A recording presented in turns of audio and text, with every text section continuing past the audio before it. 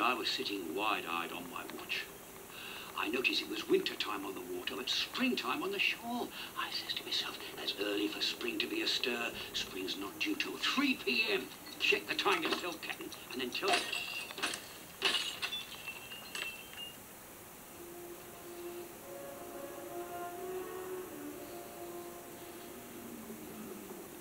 I was dreaming,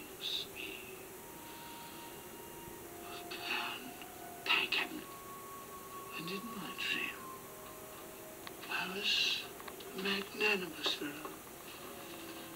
for forgiveness.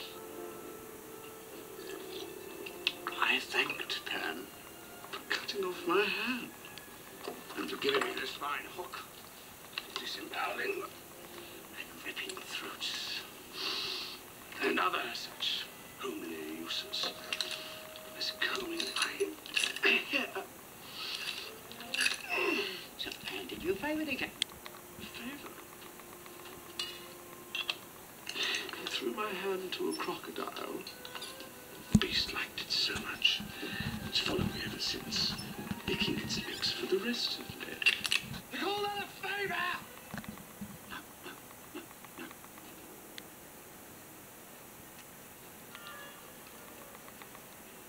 Thank you. Thank you, sir, for the beast swallowed the clock. If it wasn't for the ticking, you'd have had me by now. Ah. Why did you wake me, Smee? I say, Captain, the ice is melting. The sun is out. And the flowers are all in bloom.